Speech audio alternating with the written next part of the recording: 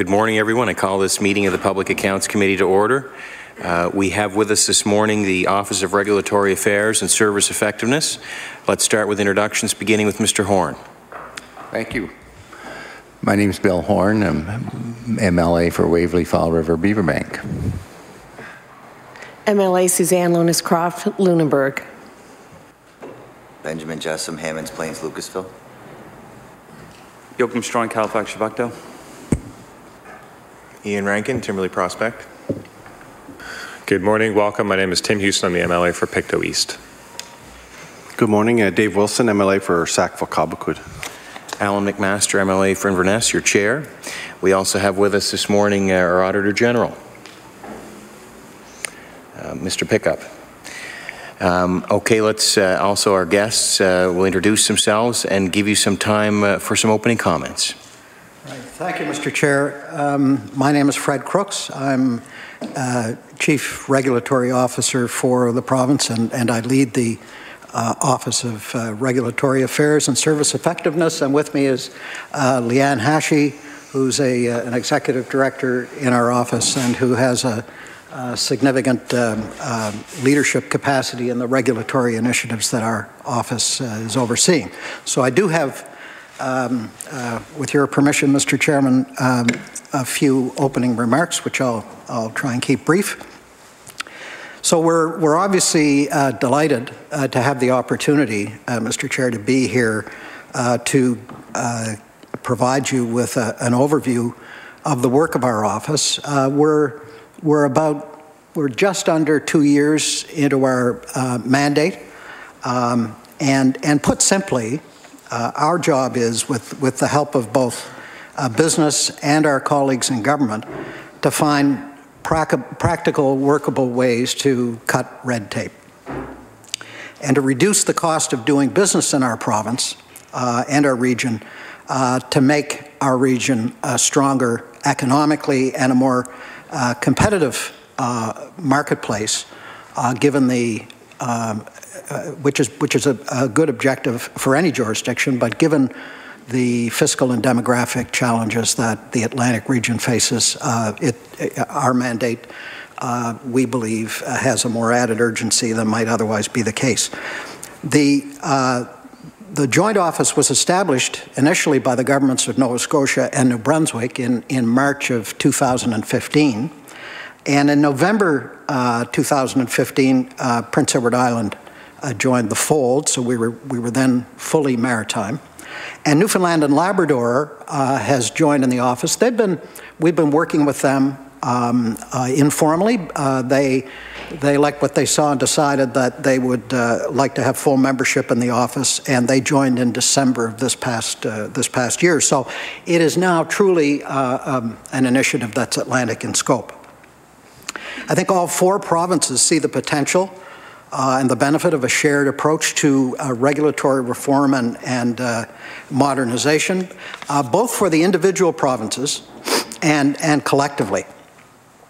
So uh, again, in general terms, recognizing that this is an overview and maybe a bit of an introduction to the office for, for some members of the committee, we'll I'll keep my brief re remarks fairly basic at the outset and then let the questions uh, that you have define the agenda. So the, the first sort of uh, major aspect of our office's role is, is, is leadership uh, in this space. And, and we've, in that regard, led the adoption of principles to guide our regulators uh, and to act as lead agency in ensuring uh, culture and practice within governmental institutions uh, and in the relationship between government and business uh, that, that are consistent with regulatory goals. And those, those principles are reflected in the Charter of Governing Principles for Regulation, uh, a copy of which I think is available uh, in the package that was circulated to the committee.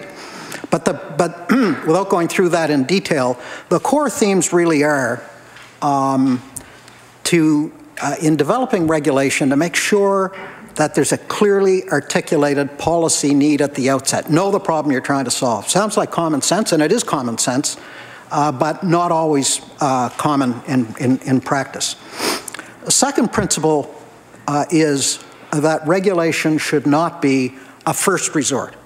Uh, It, it should be something that, that uh, it- there are circumstances, obviously, where regulation mandating a course of conduct or a course of behavior or requirement is appropriate.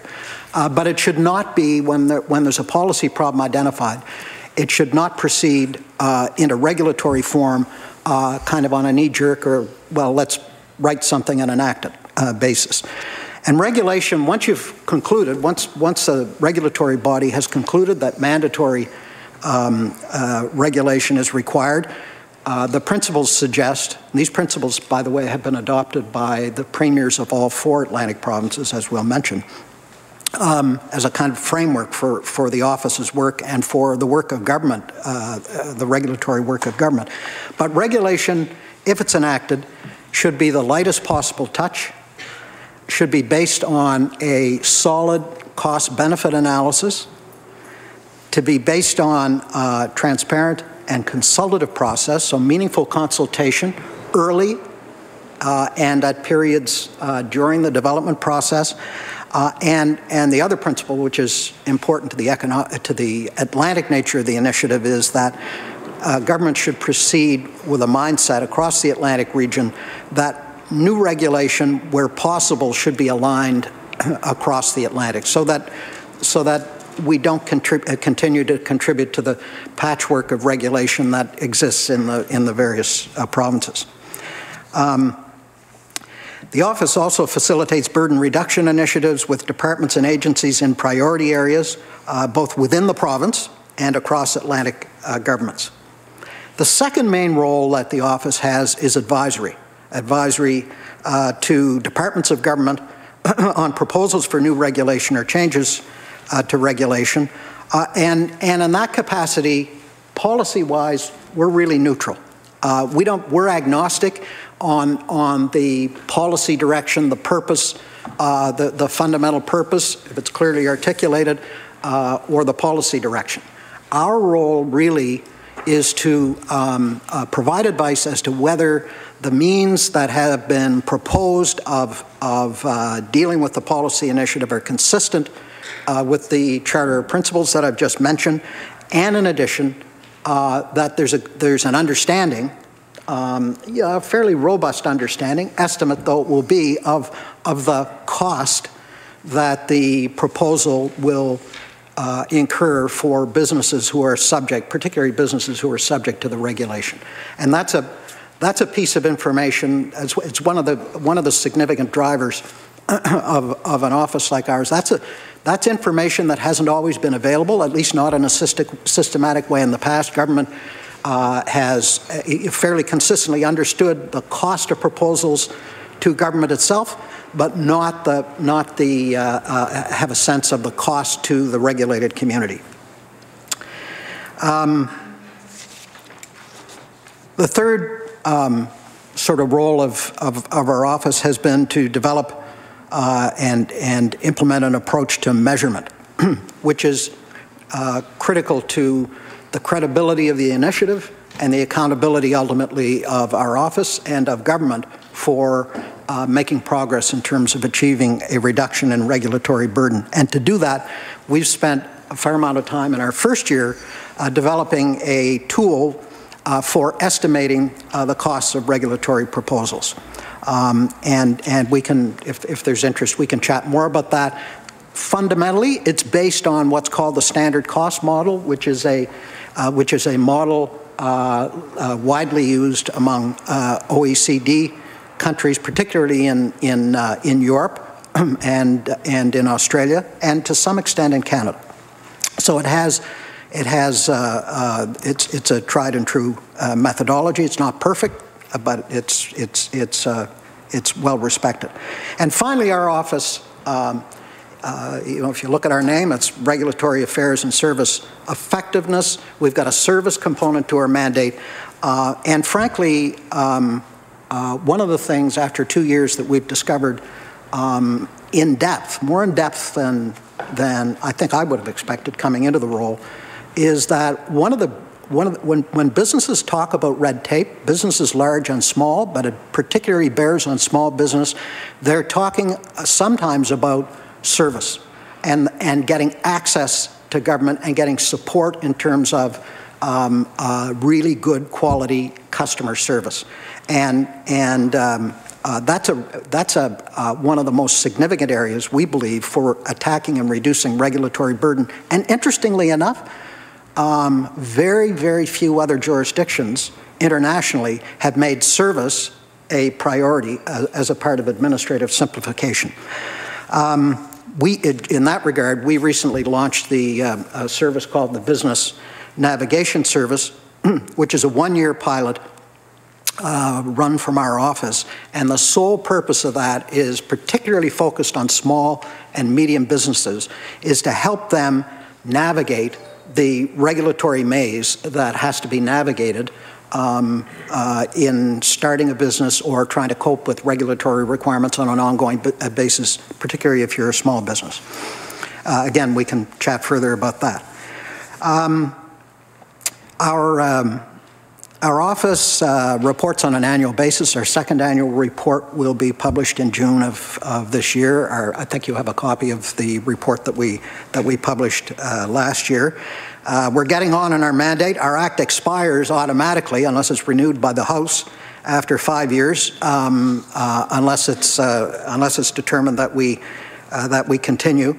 Um, and so we've got a we've got a fairly finite time to make a difference, and we're very conscious of that. Uh, we're also a small group, so we're we're really. Um, um we're trying to make make a difference in a short time. Um, so just to summarize some of our results to date or some of the areas where we've worked which may be helpful, there may be questions on some of these. Uh, the business navigation pilot, which I've mentioned, um, uh, the regional thing is really important uh, in the sense that uh, I see I'm over my five minutes. So, Mr. Chairman, you can you can shut me down wherever you wherever you. I, am happy to happy to take your direction on that. I've got another few minutes, but uh, if the.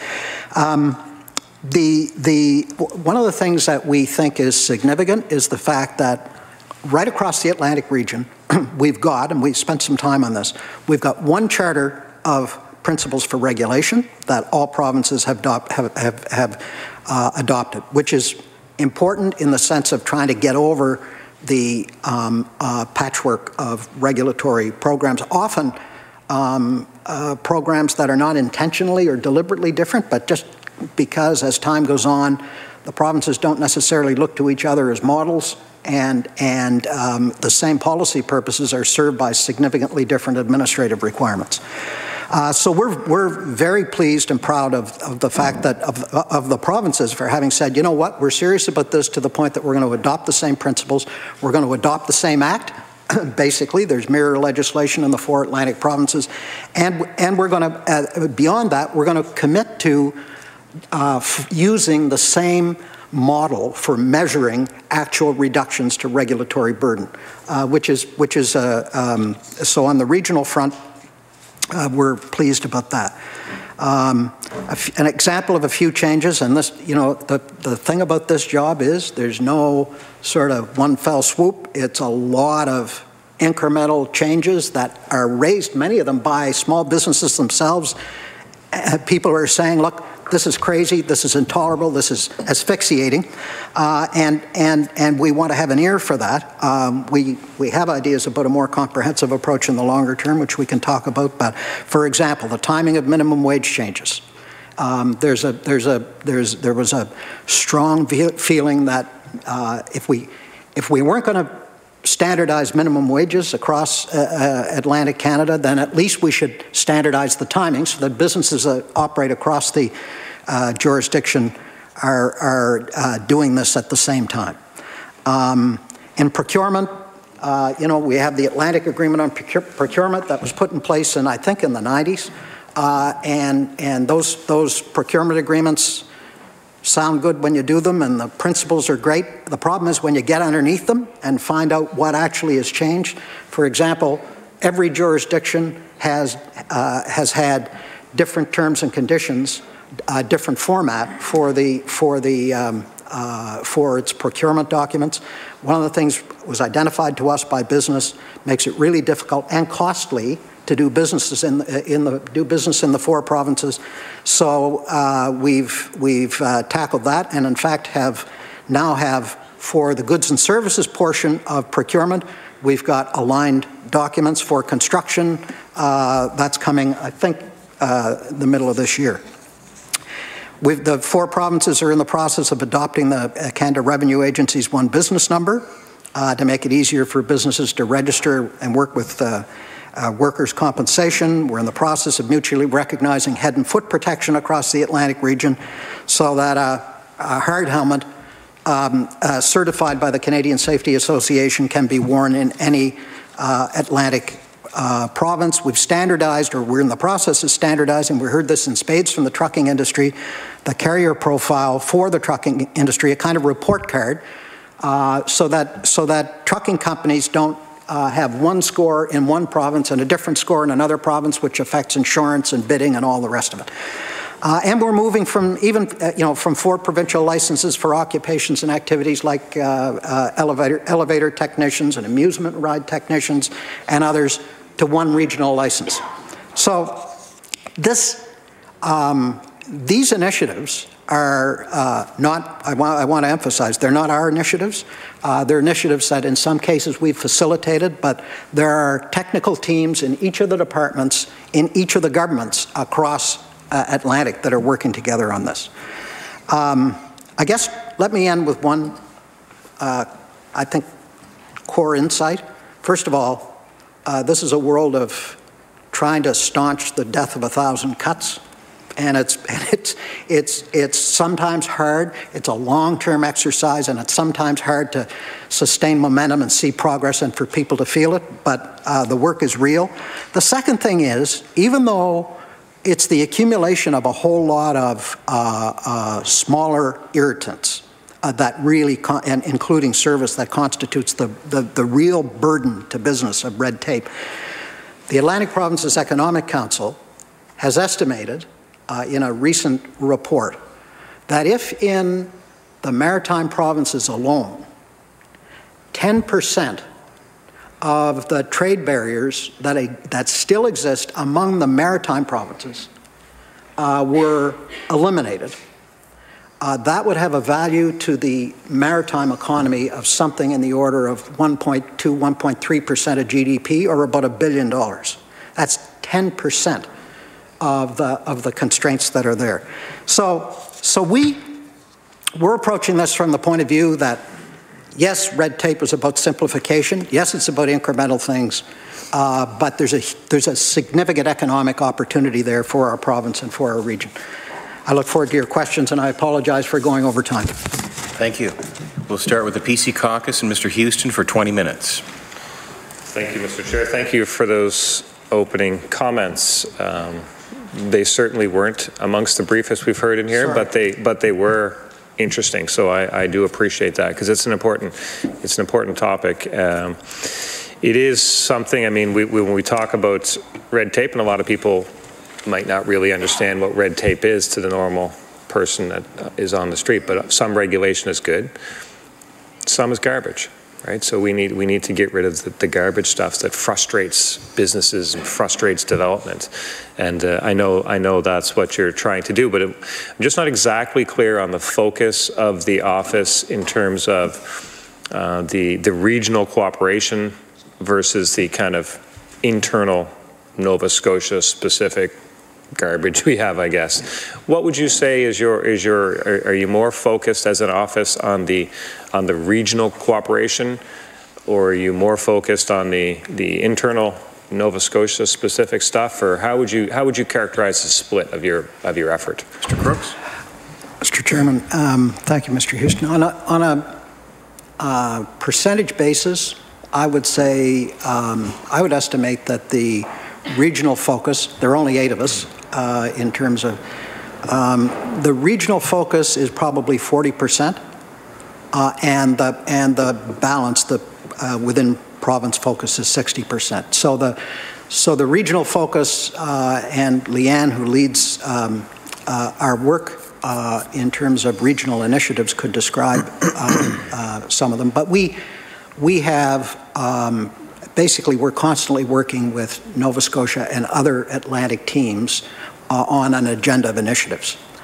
I would say that takes about 40% of our time. Then the balance is spent, it's, it's mostly internal. It could have some Atlantic benefit, but for example, um, uh, the navigator system and the service initiatives, those are provincial. Uh, they may, uh, other provinces might decide to model them, and the, and the, um, uh, the uh, targets for reduction of burden, uh, those are internal to Nova Scotia. Again, they might roll out to the, uh, to the other provinces, but the primary focus there is, is um, internal to Nova Scotia. Okay, thank you. Thank you. Uh, uh, That's, it's interesting because um, there probably hasn't been a government in history that didn't campaign or champion red tape reduction. And probably every single one of them, uh, we'll, we'll probably hear it very soon. Premier McNeil will probably be on a campaign trail saying how successful he's been at reducing red tape, and he'll be just like every former premier before him. They're all saying that, and yet here we sit in uh, 2017. The CFIB re released a report that asked small business owners. Um, how satisfied are you are you with the current government's efforts to reduce red tape? And it was a shockingly high number. I think it was in the order of high 50s percent of businesses that said they're not they don't they're not satisfied they don't believe that the efforts because they're not feeling it right so so what what would you say to those people like when when when would they start to feel it Well, uh, uh, thank you for the question. Um, uh, a couple of the a couple of thoughts come to mind. One of the one of the biggest single challenges of this area is to get a measure of progress, uh, a quantitative measure of progress, like dollars reduced, uh, and and uh, that demonstrates um, uh, actual initiatives that translate into savings for business. So that's that's and and and it's got to be a quantification that businesses and representatives of business organizations and the public service recognize as real um, and credible. Um, so that's that's point number one. But point number two, which really goes to the question that you're asking, is um, even so if you, so if you uh, you know if you reduce um, uh, the burden, you estimate the reduction of burden at 5 million or 10 million, or how does that get felt? Well, it might, the truth is, it might not get felt, certainly in the short term, because the distribution over the number of businesses is, is broad. So they, they might not, you know, they might actually have some savings. It may be bigger in one sector than the other for a particular year, but they might not really feel it. And that's why we think um, the qualitative part of assessing our performance is really important. So, so uh, dollars aside, you know, and, and, and it's important to have an objective measure like dollars, but dollars aside, one of the things that, that we did was we went out to businesses and surveyed them about their level of satisfaction. And, and what were your they, results sorry were your results similar to the CFIB where it was a very high level yeah, well, yeah, dissatisfaction there's a, there's a, there's a, there's a high level of dissatisfaction uh, with the relationship to government. Uh, I think that that's, and I think it's consistent. Eh, Frankly, I, I think as CFIB would say, it, I, you know, I don't, I can't speak for CFIB, but I think it's consistent in many jurisdictions.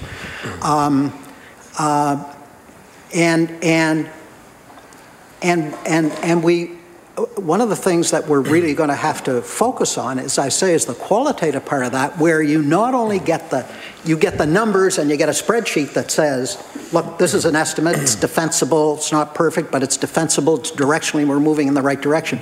But ultimately, if we're not tracking how people feel, are they feeling it? Are we getting at the pain points? Are we getting at the irritants? Are we getting at the things that are real? Forget about how you quantify that uh, globally. Are we really getting at the stuff that is making life miserable for people who are just trying to get run the business? so So, so the answer, so my answer is, um, I'm not surprised that that uh, uh, that there is a there isn't a strong feeling of uh, it's made a huge difference uh, what's been done to date. Um, And the other, the other thing is, I think in most jurisdictions uh, where, that have been at this for many years, even on a best practice basis, you, you know, we're never going to be able to get to the point where, um, much like in the private sector, in the customer service side, you're never going to get to the point where you can eliminate complaints 100%. But you, what you can, what you can do is get, is be, number one, get the rate of dissatisfaction materially down, and then have systems and processes in, in place that allow you to really go at complaints in an aggressive way. And I, so I, that's, Yeah. what you identify is real, it's a concern, and we're still thinking about how, like, how do you, so how do you measure that? How do you make sure people are Which is kind of, so, Yeah. if, if, if the point is, and I think the point is valid, that on the qualitative scale, Yes, the feel-good scale, people don't feel good about it. Right. People are dissatisfied. Business owners are dissatisfied. They feel like there's a lot of hurdles in front of them. Yep. So there hasn't been, there hasn't been meaningful progress towards that over, over governments, maybe going back in time, because they just don't feel satisfied with the relationship with government. So I found it interesting uh, that um, this government and the finance minister took a different approach uh, recently and tried to tried to basically tell people, I know qualitatively you might not feel movement, but I'm going to tell you that there has been. And at the Chamber of Commerce luncheon, he put a number out there. He threw a quantitative asse- his own assessment of how successful his government has been or will be at reducing red tape because he said, well, qualitatively, they're never going to they know it's not true. So when we put a number to it and maybe maybe get some interest here. And I was very interested in that number. He threw a number out of $25 million. You're Right. probably familiar with that number. I am. was seated in the room, uh, and as a, as a, as a, I looked around the room, and there was a lot of smirks and, and chuckles because people people knew it was just a number. because qualitatively they weren't they weren't feeling that. Uh, I don't know if it was the messenger that was the the source of the, the smirks and chuckles because there's a lot of disconnect in many ways there too, or the message. It was probably both. The number of $25 million is very interesting. Is that a number that you were familiar with before you heard the minister say it at the Yes. chamber? Is it a number that is supportable? yes. Could, is it a number that you could table something for this committee to look at that says, well, this is where the 25 million comes from? Well, uh, so I guess a couple of things. One is, um, I wouldn't, I wouldn't uh, say that there hasn't been progress, and I don't want to compare what we've done with what, uh, uh, with programs before, but I think we are building, frankly, um, and, and, and I think if you, um, if you, uh, uh, at least what our stakeholders tell us, and I'm thinking of people like um, uh, Canadian Federation of Independent Business, the Halifax Chamber, the Atlantic Chamber, the Greater Halifax Partnership, uh, the Federations of Labor, the, the, the, the broad range of businesses who we work with, we hear a lot of, uh, uh, of support and expressions of satisfaction. They want to believe. Sure, of course they want to believe, With the, right? with the, with- yeah, and I'm not, I, I'm- I'm not, I, your question, fundamentally, I agree with where we have to go in terms of But in this. terms of the specific question on the 25 million. Oh, yeah, it- no, I, I, absolutely, I'll come to that, but I, but there was, there were just some things in your, in your question that I, I wouldn't want to leave the impression that, that I don't believe there's, I think we're doing the things that are necessary to do to build up the infrastructure and process uh, that will enable, we need both quantitative, demonstrable, as, as, as the Chamber and CFIB and other businesses point out, you need those targets, you need those quantitative targets. You also need to go to the qualitative. So on the 25 million, um, that's, that's, uh, uh, that's a, uh, I believe that that's a, um, an achievable uh, number. It's an aggressive number. Um, uh, There are, there are a number of, uh, if you're interested in the, in the sort of the context for that, I'm happy to, happy to provide it. Uh, Well, I'm, I'm, I'm interested in the, in the specifics of it. Can you, is there, can you give us a little, can you give us 10 line, line, line items that say, well, 5 million comes from this, and 7 comes from this, and 2 comes from, is it something that you can No, it's a- put in front of us? No, it's a, it's, it's at this stage a target.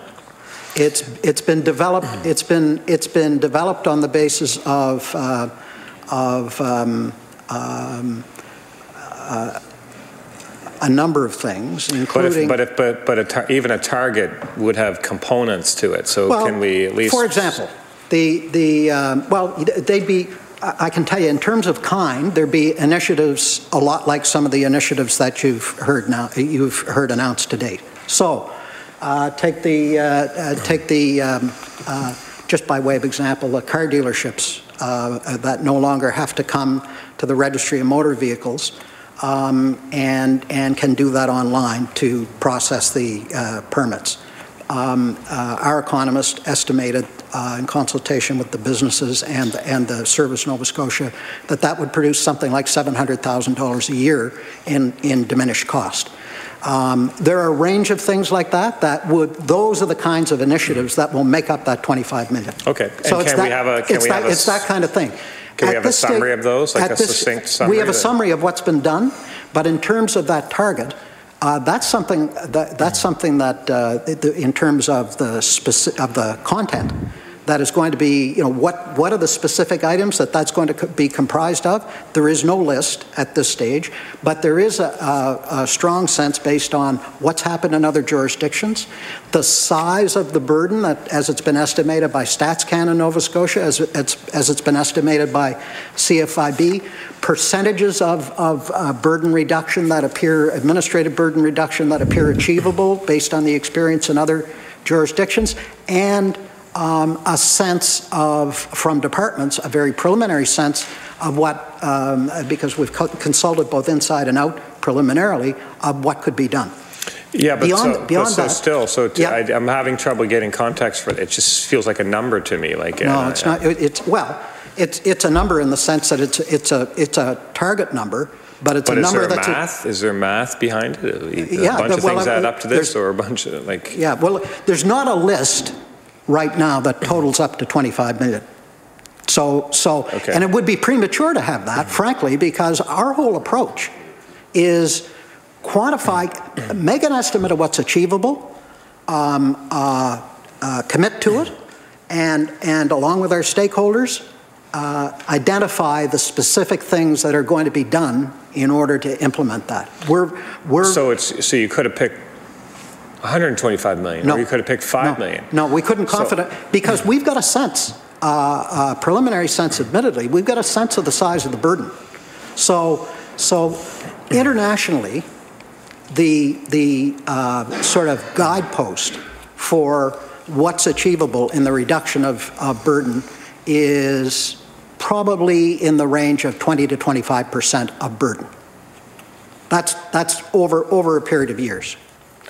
Um, Our sense, it's preliminary, but looking at CFIB data, StatsCan data, our own research, is that the addressable burden in Nova Scotia uh, is, is somewhere in the vicinity of, um, uh, of uh, 225 million. The, the addressable burden No, is the burden- 225 million. The, the, the, yeah, the, the, and the portion of that, uh, addressable was, actually, I shouldn't use the word addressable. The total burden is in the, in the provincial, is in the vicinity of 200, 225 million.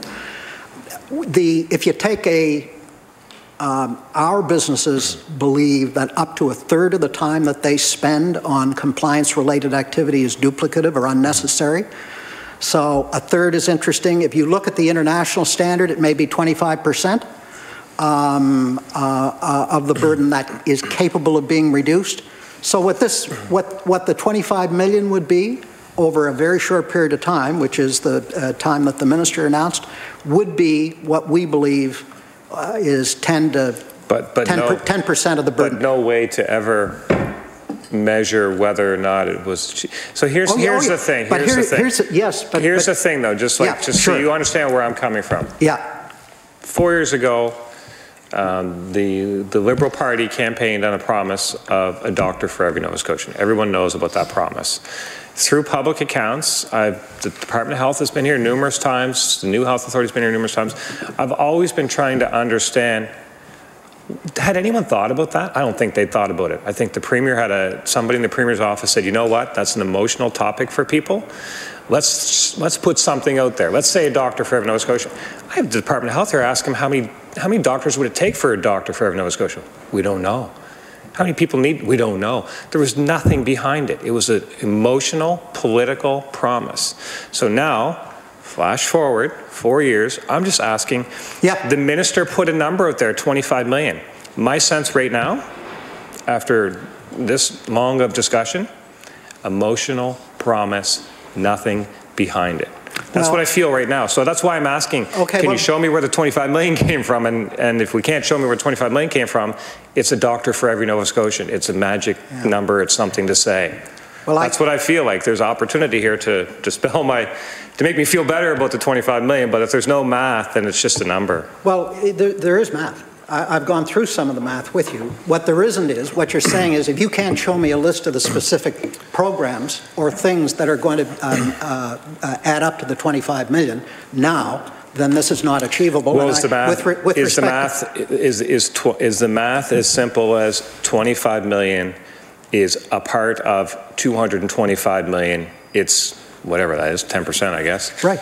And that's what we've identified as we can achieve, 10% of some 20, 225 million. Is that what we're talking about here when, when 25 million Yeah, up? it- it- that, uh, consultation with departments, preliminary consultation with departments, um, and, and the pace, the work that we've done to date, we know that, we know that uh, we have uh, six, or through six or seven initiatives uh, that we have costed, we've achieved over the last year or so, uh, $2.2 million in Nova Scotia alone in reductions. And that's probably, that 2.2 million is probably uh, uh, 10 to 20 percent. We, again, we're, we don't have the resources to cost everything that's been done, but we, we believe the number is actually much larger uh, than the 2.2 million. So the experience of the first two years tells us, along with international best practice, what's been achieved in jurisdictions that have done this, and the information we have from CFIB and others, and our own research to quantify the size of the burden, we're saying $25 million is achievable. And I- the- additionally, it's not a bald promise. In other words, uh, 25 million will be there, trust us. This is something that will need to be measured and will be measured using the costing tool that our stakeholders uh, and public servants have said, we have confidence in this tool to provide numbers uh, that, that uh, we think are reasonable. So, so I guess, uh, you know, I can't make any comment on the doctors, but I, but I can tell you this. This is based on my advice. This program is based on my advice. And I'm going to be happy, and I uh, fully expect to come, in, uh, come here or anywhere else to show as we, as we carry through this program to demonstrate based on, to demonstrate the math based on our, on our costing tool of the reductions that have been achieved. So I don't see this as a, it, it, this is, I'm not a, I'm not a pull on the number out of the air kind of person. I'm accountable for this number, frankly, that's clear, and, and I have every intention of delivering it, and I believe we can, it's realistic.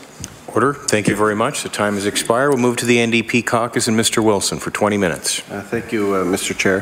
Um, Just quickly, um, your office, I would, I would assume it's, it's what you would consider arm's length from, from government. Are you, are you able to talk freely, to uh, maybe criticize or speak up uh, when you see the government uh, bring forward changes to regulation or a policy change that may create more barriers. I know, you know, in the mandate, eliminating barriers on new or existing regulations and services to enhance economic opportunities is kind of your mandate. So, do you have that freedom to to criticize, to uh, speak up, if if you see something that the uh, the government is doing that uh, you know goes against kind of the mandate that has been established for you, for, for the office? Mr. Crooks.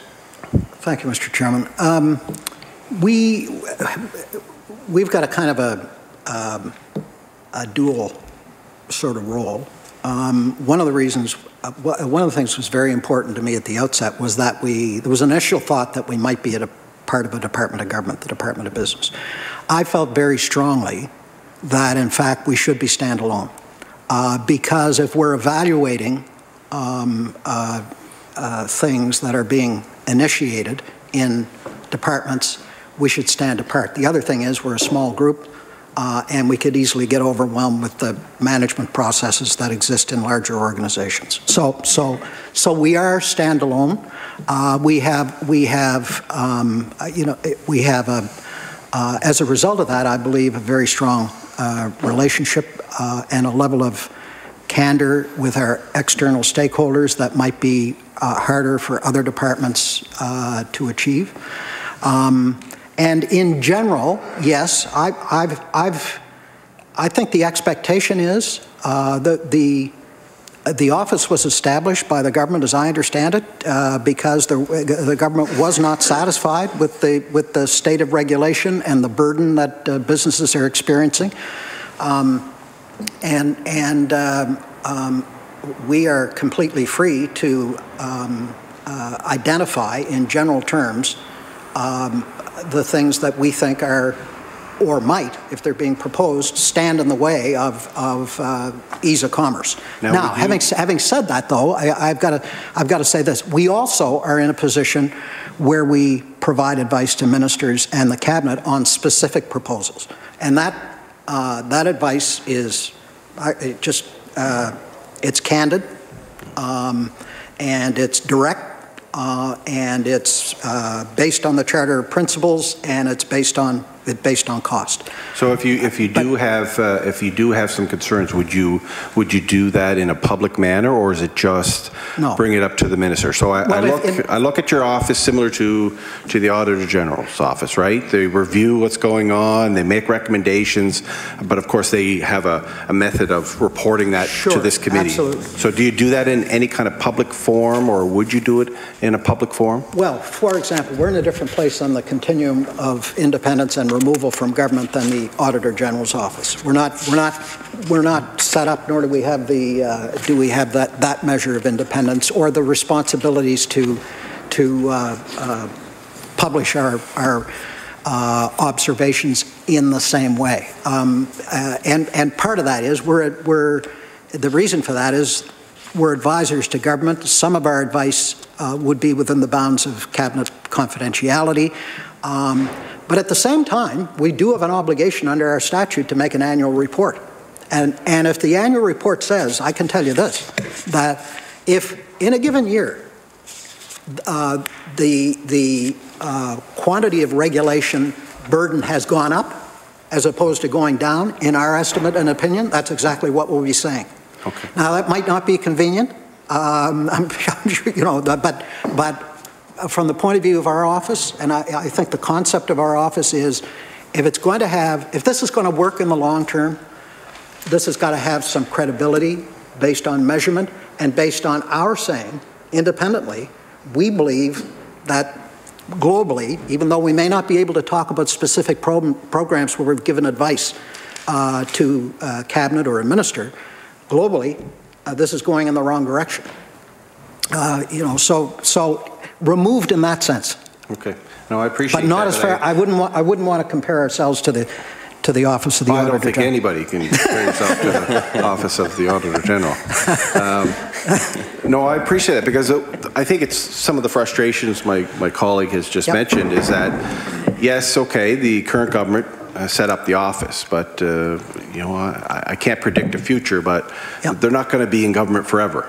Right. Um, I So, so I hope that the office continues on to, uh, to make sure that they hold whoever's in power to account uh, on, on, on reducing barriers and, and red tape, as, as, uh, as my colleague said. I mean, every government in the past knows that that has been a challenge for, for, for businesses, especially small businesses in our community, uh, in our province. Um, So I'm going to go in an area where I don't think uh, too many people kind of connect the dots, I think, on, on, um, on what goes on uh, and, and- how it, how they contribute to the economy of our province. And that's, and I want to ask a few questions on if you've had any engagement uh, on this, and that's uh, family physicians um, who many, many years ago set up uh, the system to really control uh, their overhead, control where they practice, how they practice, uh, and really, ultimately, they're, they're a small business. Uh, They hire clerical staff, they hire professional staff, they hire cleaners, they rent spaces in communities, they own buildings, they rent out buildings, um, you know, and on and on. They contribute to the economy. And in recent, uh, in the more recent last few years, there has been, in my opinion, some barriers put in place that limit uh, the ability for a physician to set up a practice wherever they want in this province.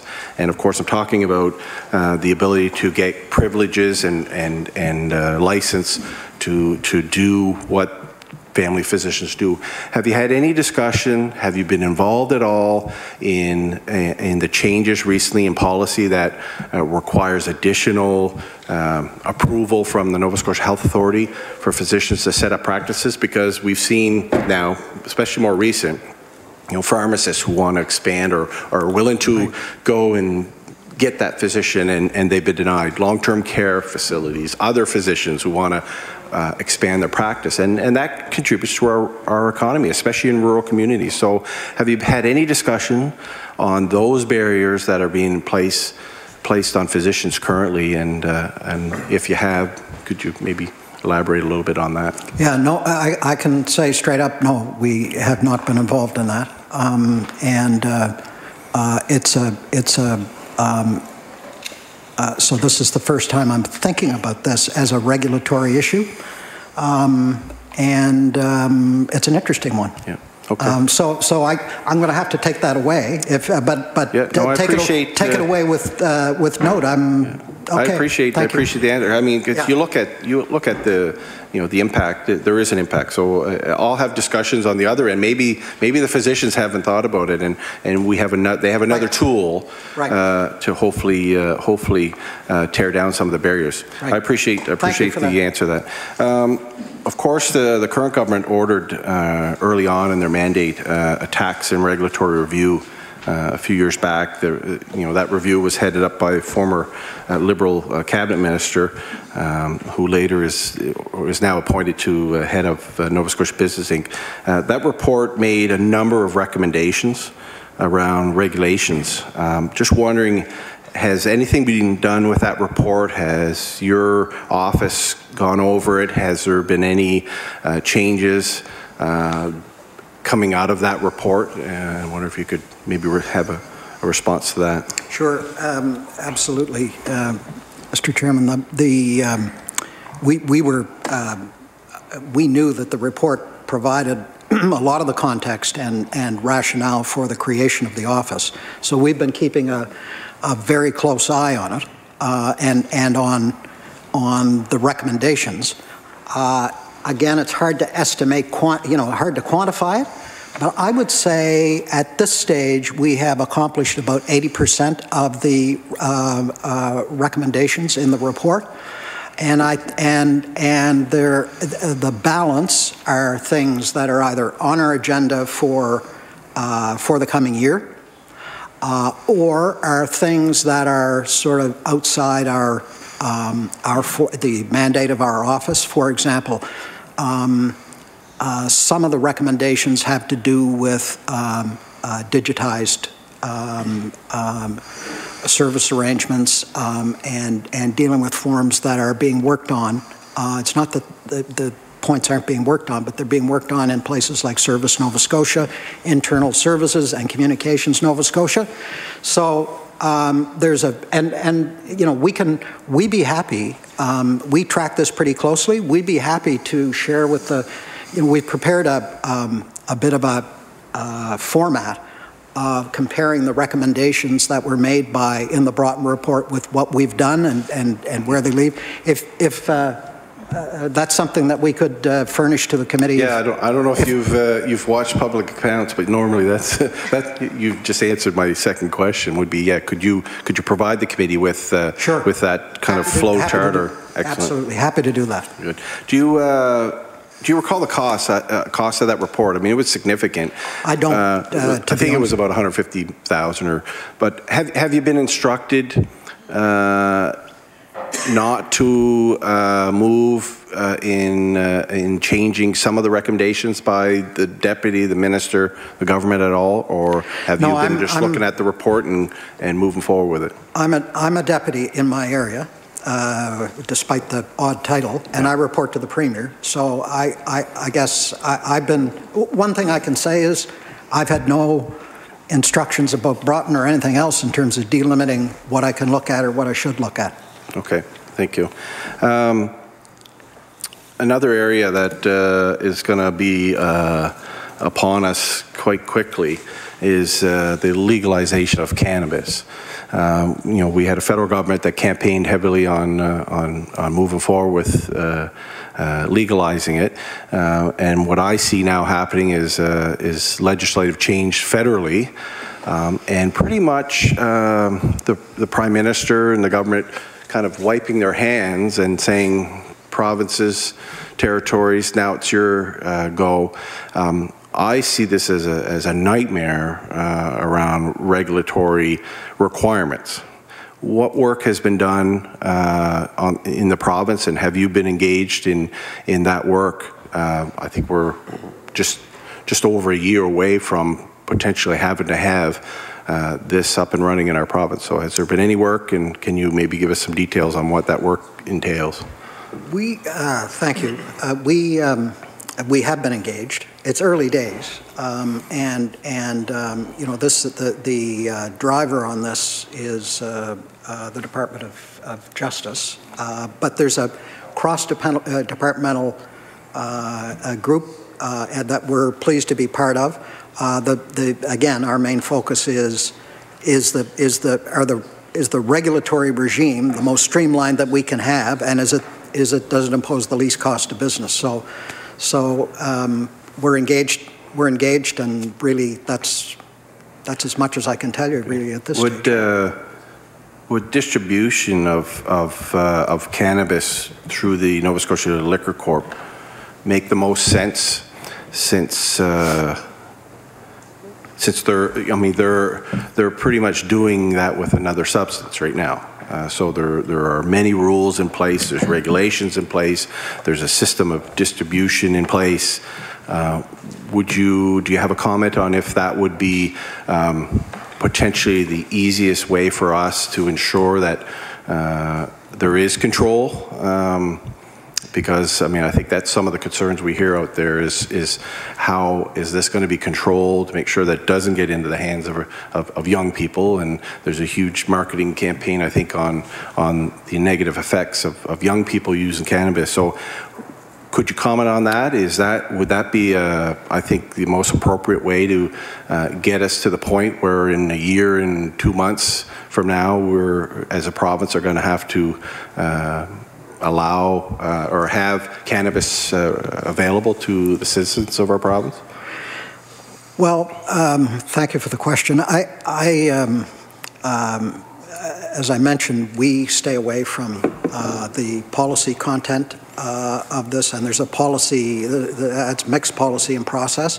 Uh, the- But the main uh, thing I would say is that I'm not well enough informed on that issue to be able to give you um, um, a meaningful or even maybe a sensible answer. So, so I'm going to I'm going to pass on that. Um, I, I I expect that that will be among the questions that will be considered, uh, given that the provinces have responsibility for distribution and and sale. One thing I will say is that I'm, um, uh, which which could bear on what structure is uh, is adopted, is there is some sign that the Atlantic provinces are um, interested as much as possible in aligning an approach. Now, whether that uh, whether that will happen, how far that will go, it remains to be seen. But that's a principle that we feel very strongly about. But I'm sorry that I can't be more responsive No, I- to your question. I appreciate the uh, openness and, and being clear on that. I, I do hope that uh, uh, that that is an, an area that the government will look at, and, and I, I, I would think it's relevant to have your office involved in, in this because I, I do see the need for, for uh, very strong regulations, um, and, and it's, it's one that it's not like you're, you're taking it away from businesses now. It's, it's going to be a new type of thing. So anyways, I appreciate that. Uh, Another area um, that I know more recent, uh, we heard from, from some business owners uh, was in the Law Amendments Committee. It's around the accessibility, excuse me, bill. Uh, And we know that uh, some business owners talked about the regulations required to uh, achieve accessibility as potentially burdensome.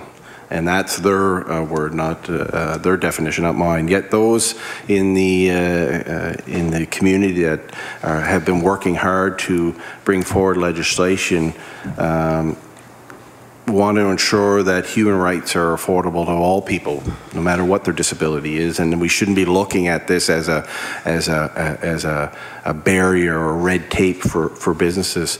Um, how would you how do you define the balance here are you have you been involved in the discussion and are you uh, supportive of the government and the move towards uh, ensuring that uh, basic human rights for people with disabilities are, are, met and that the legislation should be strong and this is not a, an area where we should be saying oh no we shouldn't have these barriers in place uh, barriers, I guess, would be the wrong term, but the, you know, it, we shouldn't be looking upon this as red tape uh, when it comes to businesses because of sheerly just the human rights uh, for for people with disability. Um, I want to be responsive to your question, but I, but a couple of things. We yes, our office uh, was consulted uh, and and provided advice. Uh, which would be within the within the bounds of uh, cabinet confidentiality, and and uh, so I really can't get into uh, the nature of that advice. Uh, the other, uh, safe to say that our focus again, and I'm I don't want to sort of whip a dead horse here, but our focus is really the charter principles and process, and and potential cost to business, um, as opposed to from a policy point of view, is this a good thing? Are these admirable objectives? Uh, that sort of thing. So, so our we're we're we really are neutral on on the policy objective, and uh, that's about as much as I can respond. I'm sorry we're we're not having much luck in terms of me responding to some of your questions, but that's really that's that's uh, consistent with our role here. Okay, thank you. Thank you, Mr. Wilson. We'll now move to the Liberal caucus and Ms. Lohnes-Croft. Good morning. Um, thank you for being here. I'm um, learning more about your office. Um, I was interested to see that um, you are using the Broten report. So it's not one of these government reports that are sitting on a shelf getting dusty. Um, and you are going to submit um, how you are balancing out. so can you give me a little bit more detail about how you are using the Broten report? Absolutely, and I'm going to ask my uh, colleague Leanne, who's who's uh, been tracking this fairly closely, to, if you don't mind, Leanne, to respond to that, Mr. Chairman. Ms. Hachey. Thank you. Uh, thanks for the question. Um, I, I, guess I'll preface it, your, your question or my response by saying that we did very much closely follow the Broten report. And what's unique or what's interesting about the report itself is that it highlights um, a path forward to try and avoid uh, the failure or lack of sustainability of past initiatives. As one of the members have stated, past initiatives haven't always had the staying power uh, for lots of different reasons. Um, what the Broten report outlined was what are those things that could be a difference maker to ensure that this particular effort is sustained over time and does have the impact and the results and the feelability of the business community that uh, past efforts may not have. Um, so some of the recommendations that were made in that report included things like having a standalone office where previous efforts have not had a standalone office. They talked about leadership from the very top. Um, the office does have leadership from the very top, um, and that's also uh, across all departments as well. Uh, it talked about the importance of focusing on measurement. Um, as my colleague Mr. Crooks has mentioned, we've developed a business impact assessment tool so we can measure um, the cost and savings of regulatory proposals. It talked about ensuring that, uh, that um, uh, an initiative on regulatory reform had a focus on service, understanding that service effectiveness does place or lack of service effectiveness does place a burden uh, on businesses of all sizes. It talked about taking a regional approach uh, to regulatory reform, so it not just being Nova Scotia doing it on its own, but getting the benefits of economies of scales across the region. It talked about setting targets. Uh, we have a $25 million, target, we, which we have every intent on accomplishing. It talked about outlining principles, so having some vision for what a good regulatory environment looks like for Nova Scotia. As uh, Fred has mentioned, Mr. Crooks, sorry, as Fred has mentioned, um, those principles have been adopted not just in Nova Scotia, but across the four Atlantic provinces, and that's unique across the country when it comes to regulatory reform. As well, the Broten Report talked about the importance of enshrining some of those principles in legislation. Uh, as you may know, Nova Scotia has its first ever uh, Regulatory Accountability um, and uh, Reporting Act. Uh, and again, that's not just a piece of legislation here in Nova Scotia, it's mere legislation across the four Atlantic provinces. So those are all of those pieces that were uh, outlined in the recommendations of the Broten Report have all been implemented by our office. Great. So, um, have you been a difference maker? Uh, I would like to think that we're, we're, we're, making a difference. I mean, I wouldn't, I certainly wouldn't be in my role, nor would any of my colleagues in our very small office be in our role if we didn't think that we were making a difference.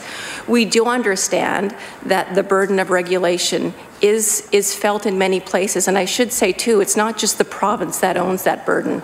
There are different levels of government that own the, own the burden. There are self-regulating bodies that own the burden. But for our piece that we own, um, and I think, as Fred had mentioned, many of the in the business community would say as well, uh, we are making a difference.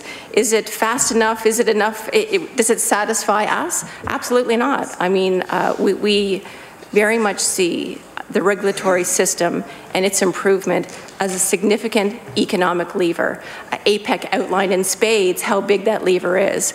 Um, so yes, we are making a difference. There is much more difference to be made. So you're a standalone office. Mm -hmm. Why not just be part of the Department of Business? Like, why a separate, you know, office, um, separate deputy minister? Like, why is, has that happened? Mr. Crooks. Thank you, Mr. Chair. Um, I guess for for a number of reasons, um, uh, we felt uh, I felt that was important. Um, best practice is that uh, whether in the UK, uh, in other parts of Europe and elsewhere, is that for a for a an office like ours, which is really cutting against the grain of much of government, and that's that's that's you know, there's no there's no I don't think better way to describe it. For an office like ours to be effective on a sustained basis, it really needs leadership from the top. So. Uh, I was convinced that this was an office that uh, uh, really needed to report to the Premier. That's, that's one thing. Secondly, uh, it's a, it's a, by definition, we wanted a small office. We didn't want it. Um, uh, and, it and it is, uh, we're few in number. And frankly, um, in a larger organization, private sector or public sector, it's very easy to get swept up in the job of day-to-day -day management of a department or an agency uh, and we knew, again, from best practice and our own instincts, that if we were going to make, we're, we're operating across a pretty broad field here to try and make a difference. And if we were going to make a difference, we were, we were going to have to uh, really be intensely focused on a narrow set of objectives, especially given how short a time we have to, to uh, achieve them. So, so our judgment was taking all of that into consideration. We really did need to be a separate and standalone office, and it, and it is what uh, I think what, what uh, Commissioner Broten uh, recommended. Um, and I, I think it's been, uh, based on experience, I think it's been borne out mm -hmm. to mm-hmm. have been the right to have been the right call, uh, not only by us but by the departments that we're working with, um, because it hasn't gotten in the way of having a of, of a, a, good dialogue and good relationship with the departments.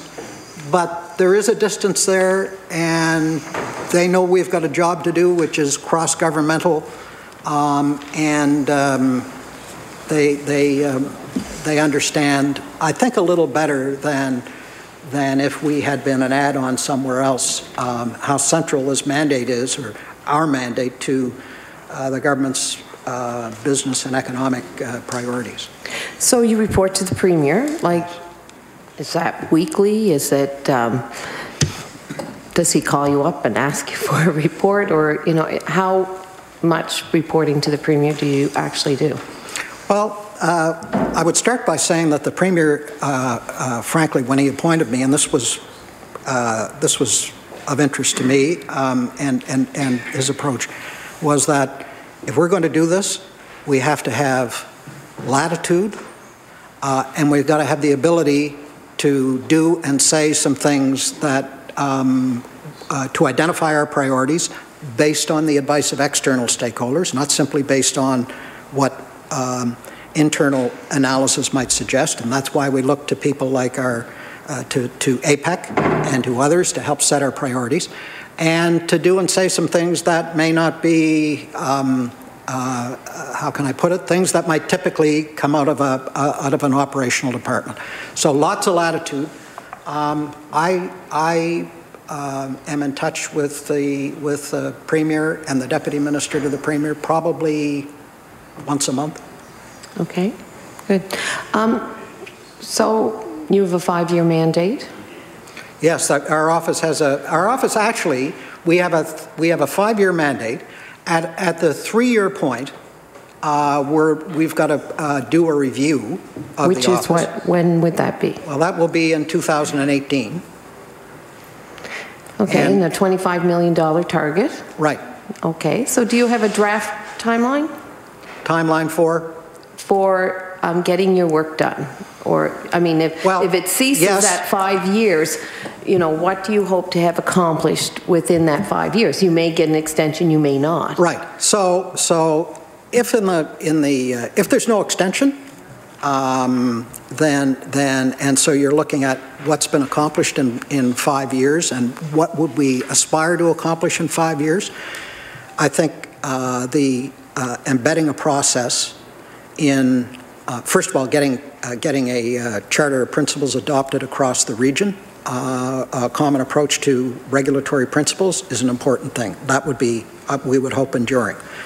Uh, We would hope that the process that we've embedded for the business impact assessment in Nova Scotia and the costing tool would be embedded and utilized as a matter of practice on an ongoing basis without us uh, by departments. And departments, we've made sure to do this, to, to add that process onto uh, what departments do in a way that they'll be able to handle, they'll be able to deal with it and won't need us uh, necessarily to be involved. Um, We would, we would like to get, we'd like to see uh, uh, even more progress on regional initiatives, and perhaps by that time, maybe some sort of more formal regional body uh, to drive regulatory reform across the Atlantic region because with the adoption of the, or the pending adoption of the internal agreement on, or the agreement on internal trade nationally, the opportunity for Atlantic Canada is significant to drive that, to drive that agenda, that, that uh, bring the barriers down agenda very hard, because Atlantic Canada benefits from trade uh, liberal, internal trade liberalization at twice the rate as the rest of the country uh, because of the significance of trade. So we'd like to make sure that we've got our strong place at the table uh, uh, for the uh, national agenda. Um, and we'd like to we'd like to know we'd like to uh, hopefully our business navigator service th- that pilot ends this year. Um, if if it produces results and demonstrates that uh, in fact this is a material help to businesses, then uh, then we'd uh, you know that's something that we would hope might continue. So those are those are if we if we if we uh, really bear down on it, what we'd what we'd love to leave if if uh, the if the five year term is is it, we'd love to leave uh, a more rigorous process focused on cost to business in the regulatory review process provincially. We'd like to have a robust pro- uh, program regionally that we could leave, uh, and we'd like to have enhanced uh, service to regulated uh, regulated businesses programs that would be. So that's our that's in very very in the broadest possible terms. That's our that would be our hope. Thank you. Um, A couple of times you've mentioned stakeholders. Who are your stakeholders? I'm going to let Leanne, Leanne is our, uh, as Executive Director, Stakeholder Engagement, so uh, Leanne is, okay. Le- Leanne works closely, if you don't mind, Mr. Chairman. Uh, Ms. Hachey? Great, thank you. Um, We have, uh, the business community essentially is a primary stakeholder. However, we also engage uh, semi-regularly with the labor community as well. So stakeholders would be um, business associations, business owners, industry associations, um, so anywhere and in all parts of the province as well. So chambers of commerce, um, which includes regional bodies such as the Atlantic Chamber of Commerce, and then uh, uh, local chambers of commerce, so the Halifax Chamber of Commerce, the Pictou County Chamber of Commerce, the Truro and Colchester Cham- Chamber of Commerce. Um, all of those groups, uh, all of those, yeah, Strait Area Chamber of Commerce. So we are in regular contact with our stakeholders because what we know from past initiatives is that you really do need the ongoing input and support of the business community if we are going to make a difference and if they are going to feel the difference. And we feel extremely fortunate uh, for the stakeholder group that we've built. Uh, in fact, in our annual report, our first annual report in uh, June of 2016, one of the things that we made a point uh, of mentioning is that the annual report wasn't ours alone, it is everyone's. That's how much the business community has been involved in our work. Okay. Um, One of the questions I get as, a, as an MLA, and a lot of it surrounds the Building Code of Canada and how it affects um, businesses, especially I come from, you know, and I represent two communities that are very much heritage communities. Um, and there's a lot of regulations around maintaining your heritage status. Um, and we have businesses wanting to open up, but um, they call the red tape, some, uh, you know, the accessible washrooms, the, um, sometimes they can't put a ramp in because of um, defacing a building or just not having the room on, you know, some of these buildings, they don't even have a driveway. Um, Are you part of that, like trying to resolve this so that we do have accessibility for our citizens yet? You know, this is a federal legislation. I find it very complicated. You know, municipalities are, are left to deal with the, the- I call it the follow because they're, they're the ones that have to give out, issue the permits to the business owners. Yet it's a federal regulation. Like, do you have anything to do with this? Mr. Crooks? Thank you, Mr. Chairman. We, uh, not a whole lot in the sense that um, we, uh, the the National Building Code, as you indicated, is a, is a technical document that, that is a, you know, there's a, there's a, uh, a huge sort of national process for developing those standards, uh, which includes a lot of consultation with the, with the uh, development community and others, uh, and, and uh, is, is, is, uh, and has, to the extent it has regional variations, they're usually based on uh, climate differences and, and, and things like that. But I think what you're getting at, so we, when Nova Scotia looks to adopt its version of the National Building Code or updated it recently, we were certainly asked, because it was regulatory, to have a look at it, and we, uh, there were, our main focus was, look, are there things in there that, that add to what may be necessary uh, in terms of the general principles that are a national standard, and, we were satisfied there weren't. Uh, and so um, it, it's really important to have a national standard for this purpose. So there's a, there's a fairly limited latitude for um, altering the national building code itself. There's a defined process for doing it. It's a national process and so on. But I think a lot of the things you're getting at are things that arise out of not necessarily just the building code, but municipal regulation.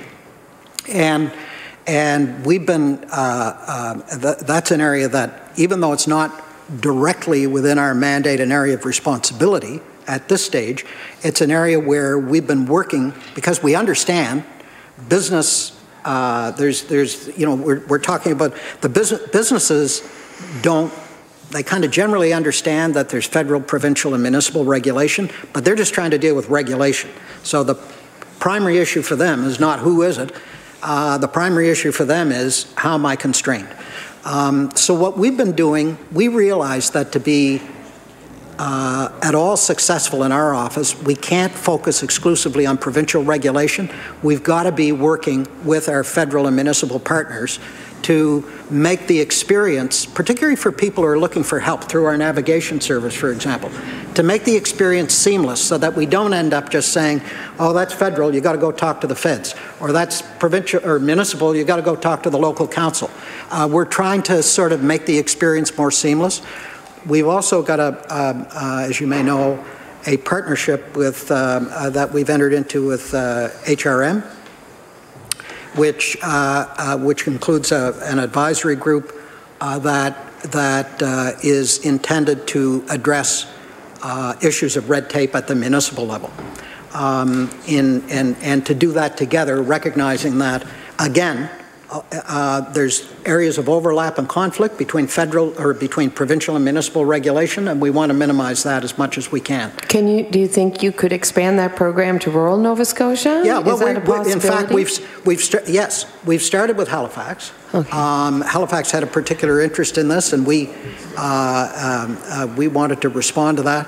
Um, uh, But for example, we've recently uh, uh, had a conversation with the Union of of Nova Scotia Municipalities about exactly that. So we're, yes, uh, we're, again, we we got to be mindful there are only so many of us, and we don't want to be going out saying, look, if we only had 15 or 20 more people, we could probably do this and that. We want to keep to, Thank you. Yeah. I want to move on. I only have two minutes left. So I want, sorry. I want to talk about your regional initiatives because, um, you know, I see the premier make, make announcements. He goes, goes, um, and meets with um, the regional premiers and they've made announcements regarding regulatory issues. So obviously that doesn't happen in a one-day meeting. So your, your department must go in there and do some groundwork before these meetings take place. So what, what is the process? What, what happens? What's your role? can I, Mr. Chairman, I might ask uh, Ms. Hachey. Ms. Hachey?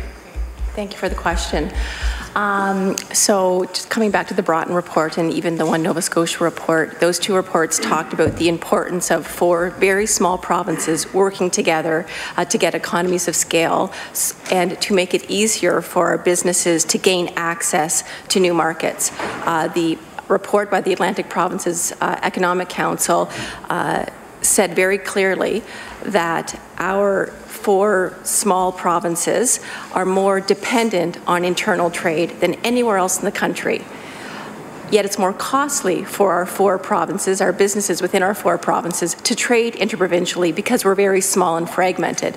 So to give you uh, uh, an illustration, uh, take a business in Lunenburg. If that business, if one of your constituents wanted to access Order. the I'm sorry, but the time has expired for that round, but if you wish to add your answer on at the, at the next opportunity, you can do that if the uh, member wishes, uh, the next round. We'll move back to Mr. Houston, the PC caucus, for 12 minutes.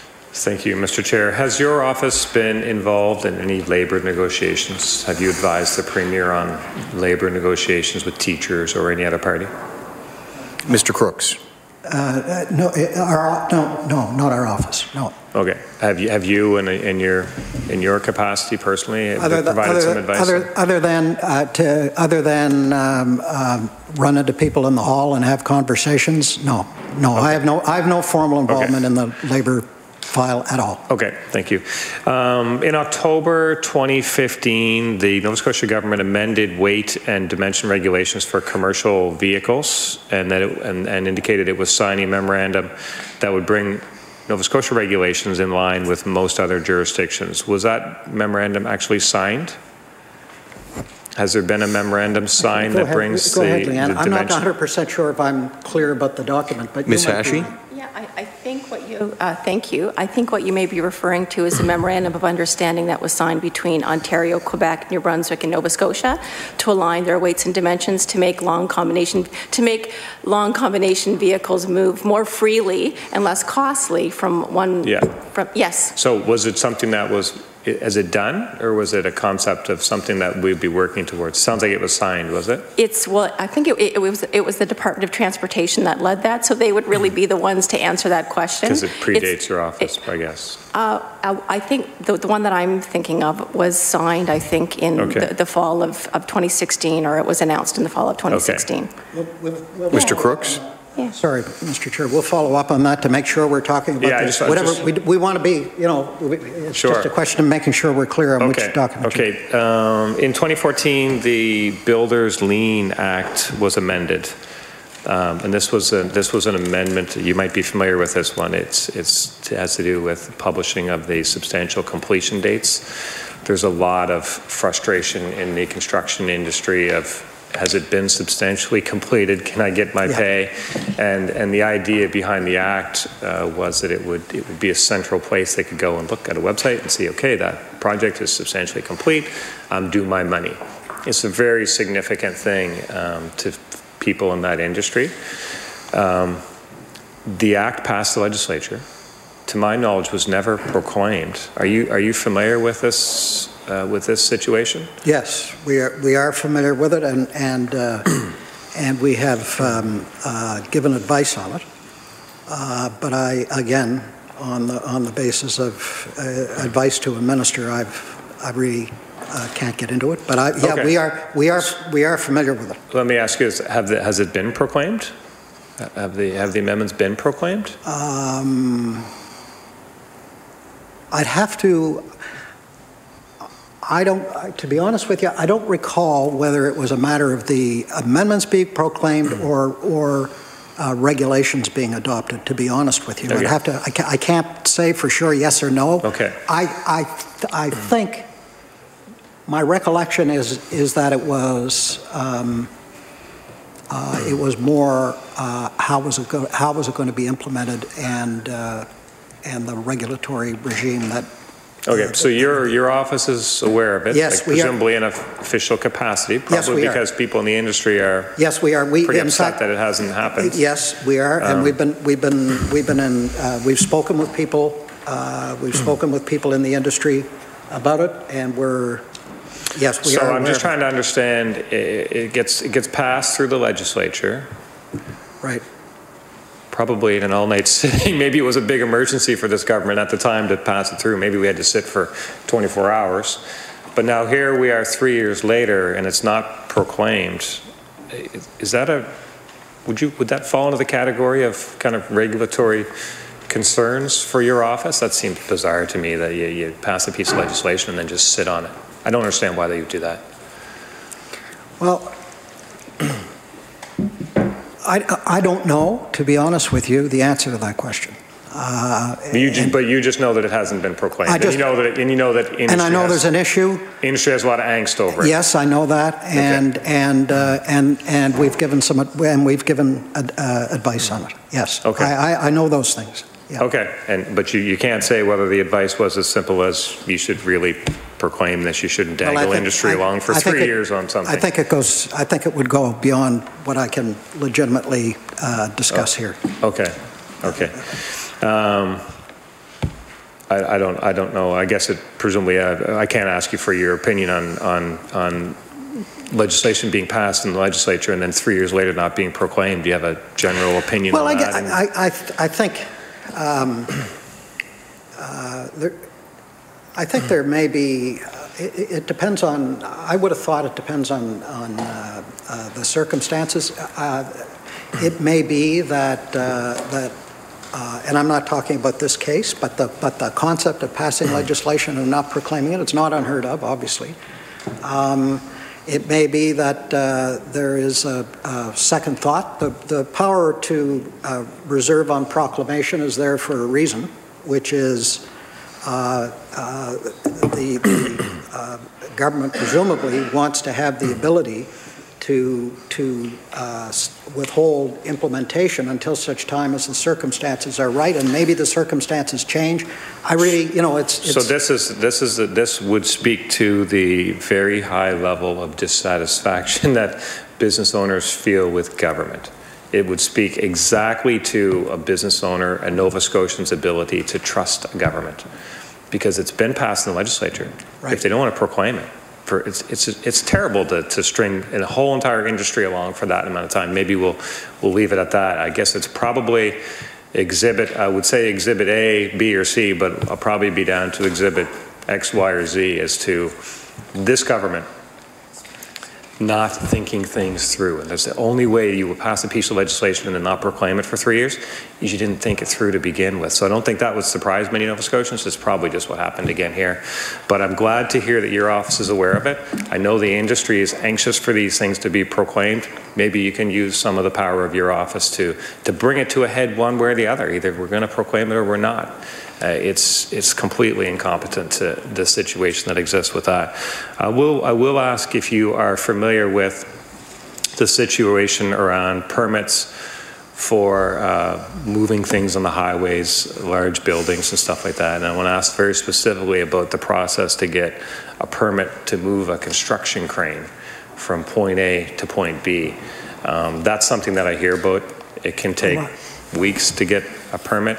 Sometimes when you're trying to move something on, you don't really have time to wait weeks. And then, and then it's, it gets even, even more humorous, because it would be humorous if it wasn't so damaging to our economy, is that if you get a permit to move it there and move it back, but the job takes a little bit longer and you can't move it on the same day, you're back into the process of weeks to move your, your crane. Is this something that you're, this is the kind of the common sense stuff that we, would- people would like to see addressed, Uh, right? Absolutely, and that, uh, uh, uh, thank you for the question. It's, it's, it's something that we're aware of and, and uh, have been uh, working on in terms of, uh, at least we, on, on the, in the area of oversized vehicles and permitting, and particularly getting coordination between Nova Scotia and New Brunswick uh, in those areas. So we're, we're, um, we're, uh, Leanne, you're probably, Ms. Hachey's probably better able, Mr. Chairman, to, to identify where that is at the moment in terms of, Ms. Hachey?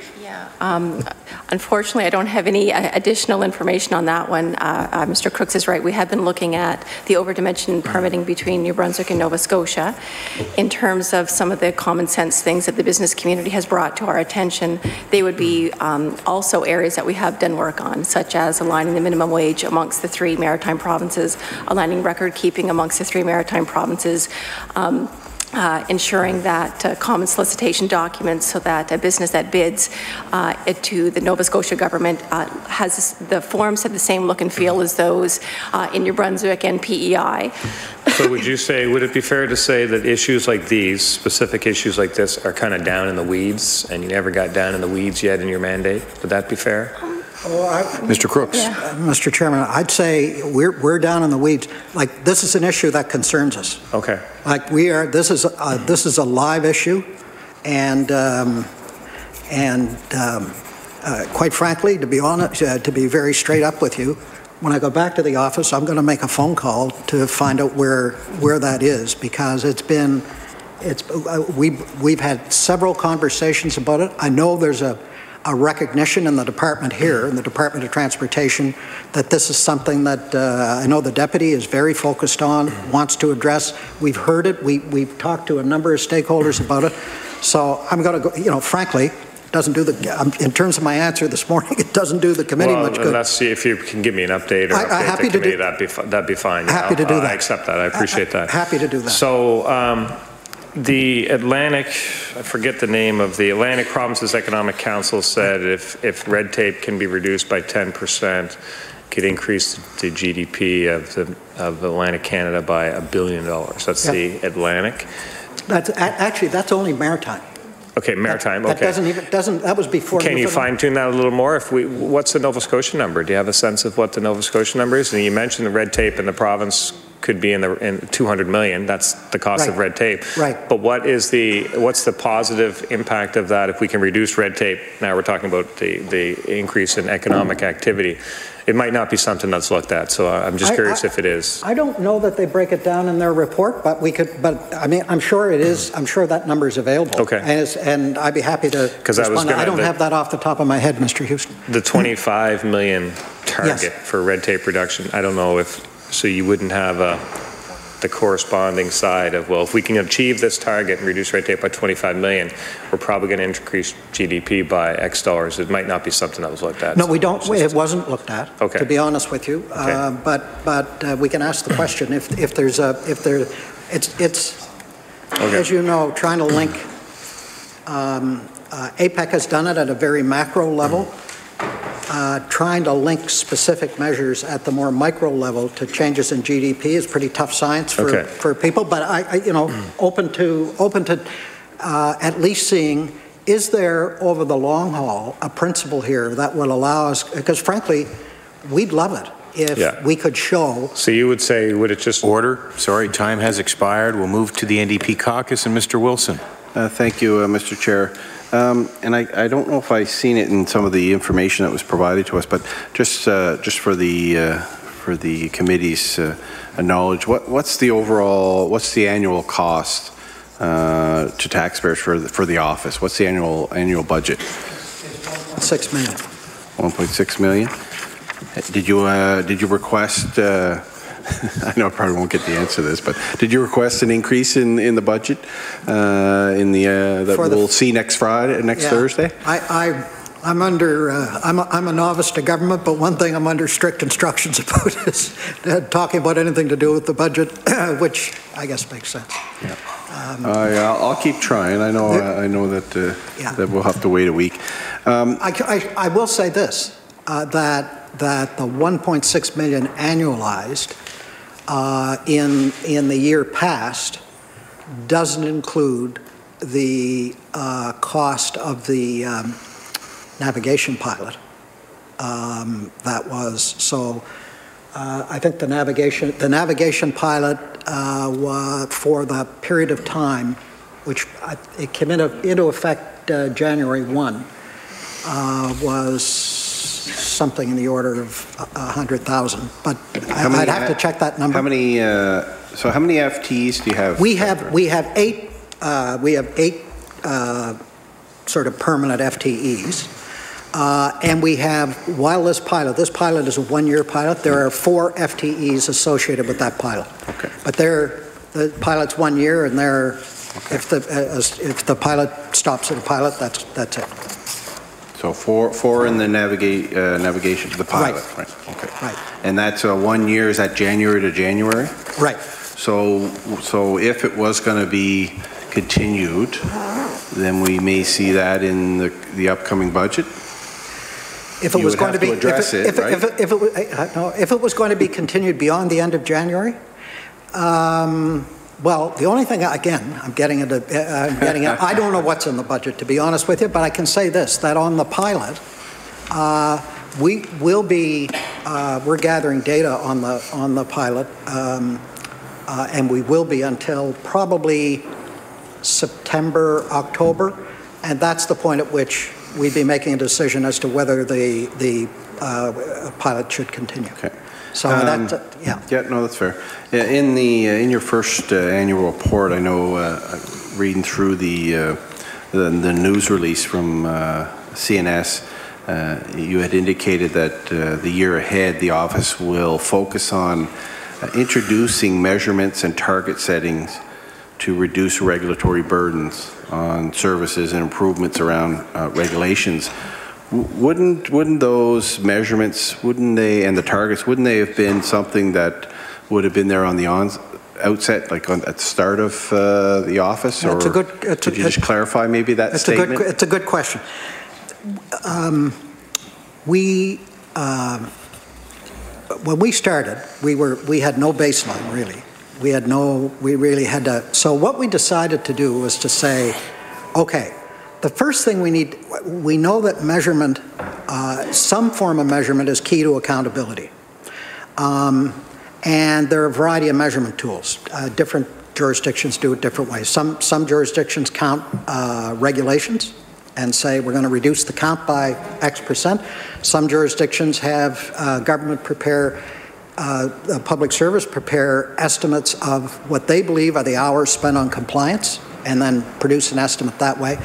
Um, We, we, we thought the most meaningful thing to do was, was to choose a method which, which um, was a reliable, that our, both our stakeholders and the public service thought was a reliable model for estimating cost uh, to businesses through a, a, a regulatory, uh, the introduction of a new regulation. So um, we had to spend some time getting that designed. That took a fair amount of time uh, to get that designed, but that was key infrastructure for, that was number one, deciding what the measure should be. So, so in other words, dollars, not numbers of regulations to be counted, uh, not numbers of hours estimated by public service, but dollars actually incurred, or like estimated to be incurred, rather, uh, by businesses based in part on business input. So that, that's the kind of the measure. Now, the target was something, uh, getting to the target, which uh, the, the uh, target was announced at uh, $25 million in reduction by the, uh, by the Minister of Finance. Getting to the target took some time. We wanted the benefit of, of some experience in the, in, the, in the job in actually doing reductions. We wanted to see, you know, what kind of pace uh, uh, we could reasonably expect to achieve in terms of doing reductions. Where are the sort of biggest opportunities? What do our stakeholders uh, identify and consider to be the main pain points? And so putting all that together, we got to the point where uh, we were comfortable making a recommendation as to what a, uh, both what an appropriate measurement would be, which is dollars of estimated uh, uh, cost, and a target of $25 million, which is uh, what's been. So I know what you mean. Wouldn't you start with a, but, but we thought there was some underlying preparatory work and some analytical work that needed to be done in the first year to put us in a position to do something that would be, I mean, Will know- we see, will we see more of a, uh, a list in, in the, in the update in June on, oh, I- I- on the, you know, You'll see. to, to support the $25 million uh, target? Okay. Yes. So uh, what's the relationship uh, or dialogue with uh, municipalities around the province? They, uh, they have their own rules, bylaws, permits, uh, permit requirements, and I know often there is, uh, there is duplication. Um, So what, what kind of dialogue or relationship do you have with, with the municipalities around, around Nova Scotia? I would say, um, I would say strong, uh, but we've got more work to do. Uh, Strong and, in, and, and aligned, I would say, in HRM, um, and, and evolving uh, through uh, UNSM with the other municipalities. I- And we have not, um, we have not had any pushback. I, I think I, I think what we've heard from some municipalities outside Halifax uh, is, look, how do we sign on? Because we'd like to uh, we'd like to participate, and, and so we're following up on that. Uh, but uh, but but I, I think the the attitude is not okay. Well, that's the province doing this, and we want to do our own thing at all. I think I think the I think the reaction is, and and there's support in the, um, particularly in, in some of those municipalities on the part of the local chambers with our work, because we've got strong relationships with the local chambers. I think uh, the, the, uh, the perception is good, the feeling is good, and the relationship, uh, we want to strengthen it. Uh, we want to expand our reach, but positive, I would say. And the other, the other part of this that we haven't really, really looked at I probably, should, you know, I, I know you didn't ask about this, but there are two aspects of municipal regulation that we can be, where we can be focused. One is, how can we work together with existing, you know, provincial and municipal regulations to make them more seamless? The other thing is, is the, is, is, does provincial regulation hamstring municipalities in some areas where if they were freed up, they could uh, do more in terms of promoting the local business climate. So that's something else that, that we're thinking. Are you, are you compiling, uh, you know, duplicate regulations? Are you, are you identifying them? And, and if so, or if not, why not? If so, uh, how are you, how are you dealing with the municipalities? Are are you trying to come to an understanding that one of the parties stands down or backs away and allows the, uh, uh, the other to, to uh, continue on? Or how, have you done that, or is that No. something you're? No, to be honest with you, we haven't, we haven't compiled lists of duplicate regulations, and in fact, that's a, I- I- we've got a, uh, we've got a sort of a five-year mandate with a three-year evaluation point. I, I could safely say, looking at the experience in other jurisdictions, I could safely say that a body like this, a body like our office, if it was, if, if, if the four Atlantic provinces and the, and the municipalities, uh, if this became sustained and serious, there's 15, 20 years of work here to, to get all of that, to get to that level where we're eliminating uh, uh, every area of duplication. But there's, but there's, um, uh, I think what we're, instead, what we're focused on at the start of the relationship is, um, are we, are we dealing, recognizing that service is a big part of regulatory burden? Are we handling our business customers uh, in a coordinated way so that we're saving them time, which in turn can be measured uh, in terms of reduction of burden? So that's kind of our starting point. But would I like to be able to, same as the total provincial burden. We haven't costed the total provincial burden because we want to, but it's a that's a major exercise. Britain spent, I think, 20 billion pounds um, uh, doing that in the in the United Kingdom. Europe spent more than that again. So the other thing we're trying to balance here, not not to apologize for not getting on with uh, some of these things, we're trying to balance getting the right work priorities, but not inventing something that's so big in scope in terms of the bureaucracy that, that it's more expensive than is sensible for a jurisdiction the size of Nova Scotia. Thank you. Thank you, Mr. Wilson. We'll move back to the Liberal caucus and Ms. Lohnes-Croft. Uh, I just would like to go back to uh, Ms. Hachey um, to talk a little bit more about the regional initiatives. We were sort of cut off there, but I, I'd like to hear more about that. And, and you were about to give us an example, but I just want to know, does the apprenticeship um, qualifications for the um, banking hours and whatnot, is that all part of your work too, or? Ms. Hachey? Uh, Thank you for the question. That specific piece was done by the apprenticeship agency. Um, Oh, through the labor and advanced right, that- education, so it had nothing to do with your department, okay. But can you follow through with the Yeah, abs- example you were about to give Yeah, absolutely. So, uh, and my apologies for not uh, watching time last time. So I, where I was at was just um, the challenge some of our businesses are face in our province and our region in accessing those new markets, which we need our businesses to do if we want them to grow. So what the APEC report outlined was a business in Lunenburg, if they wanted to access the Atlantic market, which in totality is 2.2 million, they would need to go through four different provincial sets of rules and regulations to access that market. Contrast or place that business now in Kingston, Ontario.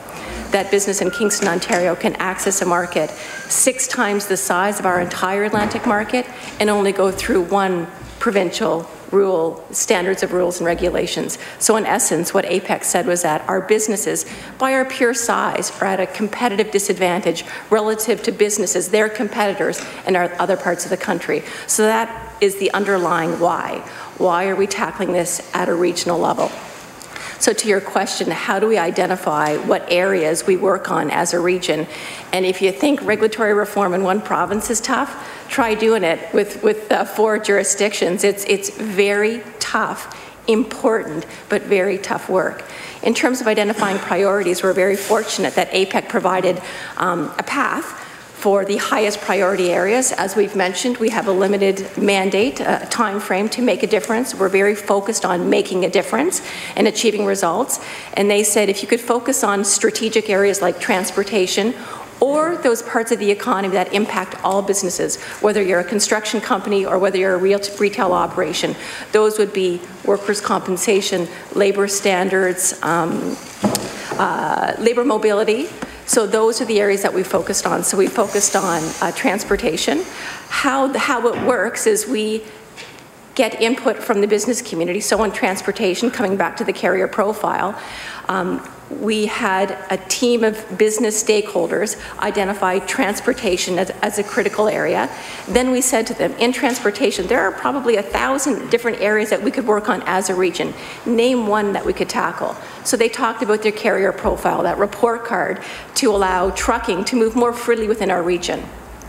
We developed a team of interprovincial folks in the four Atlantic provinces who are experts in their area and said, can you walk develop a plan for how we can standardize that carrier profile. So that's essentially how the systems, how, how the regional initiatives are developed. So from outside input from the business community, because again, there is no point in us doing our work if it's not informed by the business community and if it doesn't have an impact on the business community. But the experts to find the way through live within government. So it's teams of interprovincial folks in the area of transportation, in work, uh, labor standards, in workers' compensation, in procurement that identify one or two or three things in those strategic areas that they can work on and move forward. Okay, and so the Premier's role in the the regional uh, initiatives is, Yes, so, so we've been, uh, I'll start, and then uh, we've been working this through the Council of Atlantic Premiers. Um, again, coming back to the Broten Report, and the Broten Report talking about the importance of leadership at the very top. Um, the Council of Atlantic, Atlantic Premiers has been our vehicle to move some of these things forward. so do you see good leadership? Or is that um, opinion? Mr. Crooks? Mr. Chairman, uh, one of the, one of the things, I think we've mentioned this, that's uh, key, critically key to uh, an initiative like this having uh, uh, success is leadership at the top. And for Nova Scotia and the other provinces, that means the premiers. And, and we think we've seen uh, uh, very strong leadership from the four premiers uh, in driving this agenda forward. And it would not work uh, without that uh, shared commitment. And, and the interesting, uh, one of the interesting things about this is we thought that we would, you put four technical teams together uh, from different provinces. Our expectation was that uh, this is just going to be, this is going to be a bit of a nuisance and a job of work for them, uh, not their day job uh, you know, whether they're in the departments of labor or transportation or whatever. The feedback we've gotten from the public servants who are working together with their colleagues in other departments is, hey, we actually, as we've said, look, should we lighten up on you? Frankly, I mean, you probably want to break from this stuff. We know it feels like chipping away at an iceberg. And the reaction was, we should be doing more of this. Uh, we, we, we learn a lot from each other, and there isn't, this, this is a really good opportunity we should be doing more of this kind of work. So, which, which, which is really encouraging to hear because where you're trying to drive a little bit of change, to get that kind of buy-in from the people who are uh, working around the table is so important. Thank you very much. I'm going to uh, pass it on to my colleague. Mr. Stroink? Thank you very much, and thanks for your time today, and I quite enjoyed your presentation. Um, I guess what I kind of wanted to touch base on was that the CFIB has been brought up in the d- discussion here uh, on a negative context. Uh, so I guess what I'm trying to get at here is um, where are where do we sit in Canada um, with small business um, on the small business barometer that they put forward that the, that the CFIB put forward? Well, uh, first of all, um, uh, I, I, assume you're referring to their report card. Yep. Um, we, we have a, uh, we're at a B. Uh, we we uh, are, I, I, believe Quebec and BC are at A. Uh, and I think that, um, I don't know, I'd have to refresh my memory, but I, I think that uh, we're in the third um, yeah. rank. Yeah, top three. We're in the, we're in the, yeah, we're in the top three.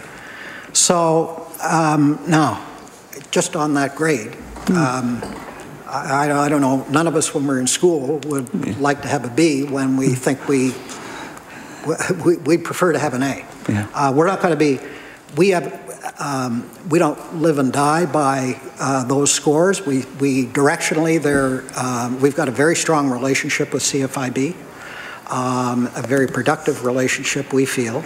Uh, we, we started at a, I think, a D minus. Yep. Uh, and then we went to a C, a C minus, uh, Leanne reminds me. and now we're at a B. And one of the major, uh, one of the major things that uh, CFIB said in terms of continued progress was uh, a target that reflects a, an appropriate measurement um, mechanism.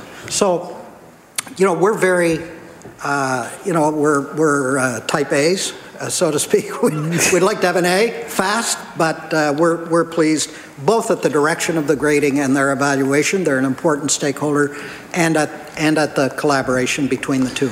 So that 25 million target that we're setting for, and I guess I should, before I ask that question, I guess what, what I'm trying to use as CFIB seems to be the national standard of, of business confidence for small businesses. Like, I was a member for 20 years.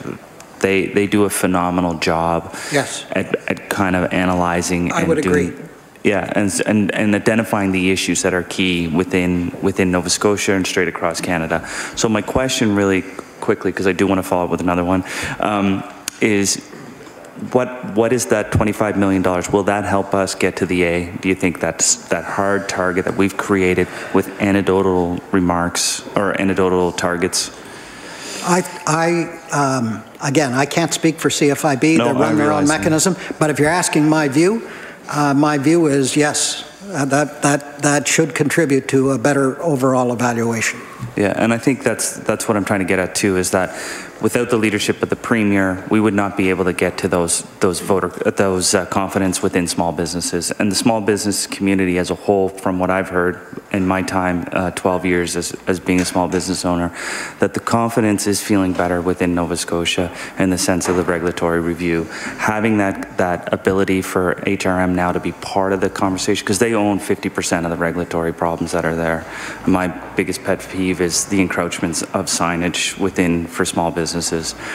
But what I really want to get down to is what your work does and what all MLAs do. I've used your department on numerous occasions with small business regulatory affairs, and I think that elected officials need to understand that you're there to help them in their communities to figure out the regulatory for. And I just want to if you could just explain that, how that's worked, and, and our relationship's been great, um, and how that can benefit them.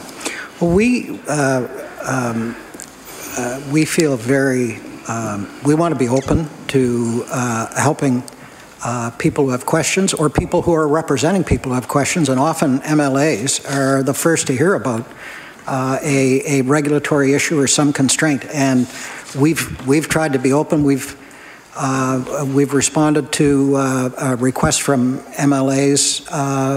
We'd, we'd I I was about to say we'd love to have more, uh, but uh, that's probably saying we'd love to mo- have more problems identified. But, I- you know, it's a really important potential channel, especially uh, of communication with our office, especially now that we have our navigation system. So to the extent that the uh, question is, are we, are we open to working closely with MLAs? Uh, We absolutely are. We we welcome that. It would help us, it would- frankly, it would help us do a better job. Excellent. And I think that's kind of what I was trying to lean at is that uh, the, the three or four times that I've used you and just sent you an email this morning on another issue, you know, those are the things that I think makes a better business climate and, and identifying them and, and identifying them from the experts. So thank you. I think that's all my time anyways. Thank you, Mr. Stroink. Mr. Crooks, will allow you a, a brief moment to provide some closing comments. Well, given, thank you, Mr. Chairman. Given my um, negligence in going overtime at the beginning, I won't burden you with anything further at the end, save to say, uh, look, I, I really have appreciated the opportunity to uh, hear from members and, and uh, interact with members. Uh, frankly, uh, this has been helpful to us. Uh, some of your questions are things that we're going to take away and think about. I think uh, I, I, there, there, uh, this is a very constructive and useful exercise, and I'm pleased and honored, uh, and I, know I speak for Leanne in saying uh, pleased and honored uh, to be part of it, and feel free to be in touch with us on any question touching business, small or large. we we welcome the opportunity. So thank you very much for, for having us in. Thank you for being with us. We do have some committee business. We had some correspondence uh, from the Department of Health and Wellness and the Nova Scotia Health Authority. Uh, There was information that was requested on the March 8th meeting, during that meeting, and uh, you have that before you. Are there any questions? Hearing none, we have another piece of correspondence also from the Department of Health and Wellness listing health infrastructure projects. Any questions on that correspondence? Hearing none. Um, We do have a record of decision, which I believe is before everyone. Uh, This was from our subcommittee meeting on agenda and procedures this morning. There are a number of topics that have been approved by the subcommittee. Uh, There are a couple at the bottom that I'm going to ask the Auditor General uh, for some advice, uh, because they are topics related to audits that that office has completed. Uh, One is the Atlantic uh, Lottery Corporation, um, joint audit of that, and the second is um, um, the critical infrastructure resiliency, which was Chapter 4 of the November 2016 report.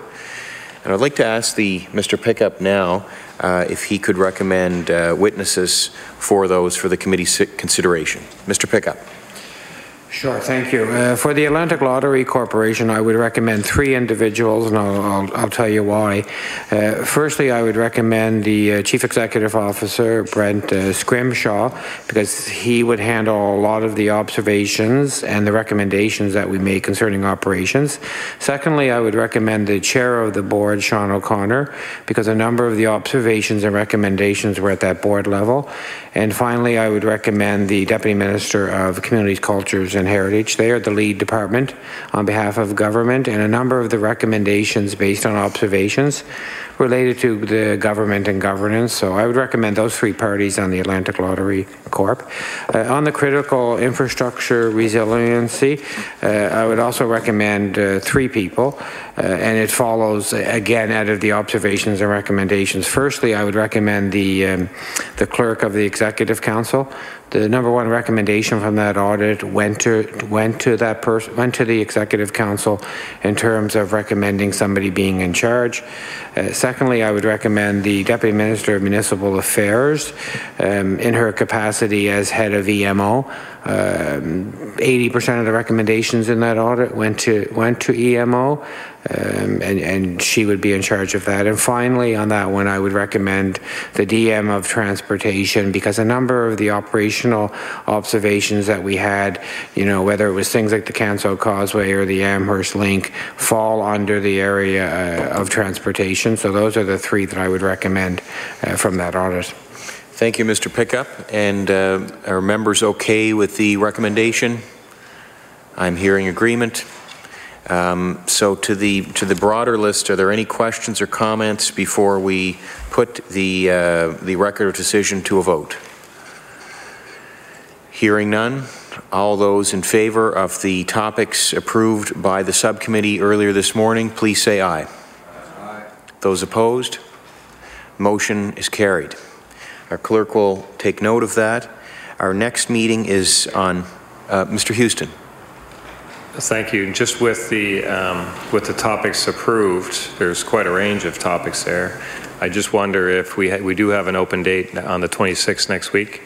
Um, I just wonder, it would be a shame to let that open date go unused when we have all this committee business to do. I just wonder if maybe we can ask the clerk to see if one of those witnesses could, uh, could appear before the committee next week. Thank you, Mr. Houston. And uh, we, you're correct, we don't have a meeting scheduled for next week. Uh, We can ask our clerk to, uh, to proceed to see if a witness might be available for next week. Is the committee in favor of that? All those in favor? Those opposed?